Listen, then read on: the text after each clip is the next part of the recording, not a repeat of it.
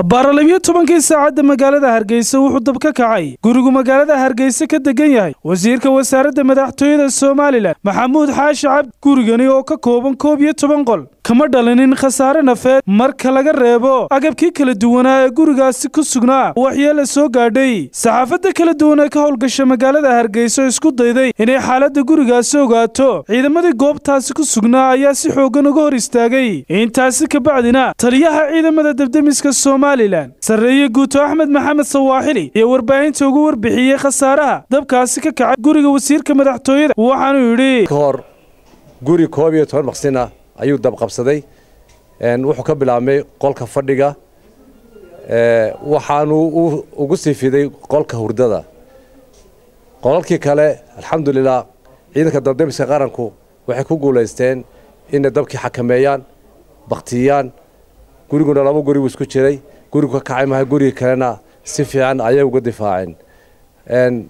Waxaan dadweynahana u sheegay haddii alla ka dhigo haddii dab arkaan si degdega inay nagu soo yeedhaan nambarka la idhaahdo sagaal sagaal eber si degdega marka ay dabka arkaan intuu yar yahay.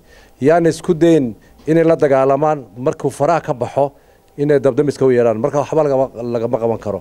Marka dadweynaha aada iyo aad baa waxaan ugu waaninaya had iyo jeerna waan ka sheegaa. In dabku intuu yar yahay wax laga qaban karo. Haddiise uu dabkaasi weynaado dee khasaarihiisi buu la imanaya. Marka hadduu dabkaasi weynaado khasaarihiisi markuu la imaado biyo badan baa lagu isticmaalaya gurigii wuxuu noqonaya markaa wadaqoyaan buu noqonaya. Marka aada iyo aad waxaan dadweynaha ugu mahadinaya had iyo jeer waxay isku dayeen in dabka ay la dagaalamaan baktinian laakiin daahayska dabdemiska daahenianna mushkilad baa ka imanaysa. Had iyo jeerna daaqadaha ayay furaan albaabadana way furaan jiingadana way furaan. Halkaasoo dab fiditaanku uu dhaqsoo fidayo. Marka dabkii maanta alxamdulilah koob iyo tobankii maqsin gurigaa fadhiga ka kacay maahee intii kale waa nabadgelinay iyo hantidiisiiba. Wixii sababay iyo wixii dabkaa keenayna baadhistii booliiska ku maqan baadhayaashii ku maqan. Marka insha allah dib baan ka soo sheegi doonaa wixii dhaliya dabkaas. Taliyaha ciidamada debdemiska waxa wax laga weydiiyey sababta keentay inay gurigan u soo gurmadaan. Gaadiidka debdemiska garoonka diyaaradaha ee magaalada hargeysa wuxuu kaga jawaabay. May maya haddii jeer dabdemisku way isu yeedhaan way qaala dirtaan annagu maana yeedhan laakiin shicibkii baa u yeedhay. Waxaanu noo yimid goor aanu baktiinay oon biyo iyo waxba looga baahnayn. Annagu biyahaygu ma kala go-an kun iyo saddex boqol iyo koob iyo soddon dab baanu ayaan la dagaalanay. Weli maalina biyu naga go-een ma jiro. Waxaa jira dab aan lix saacadood la dagaalanay baa jira.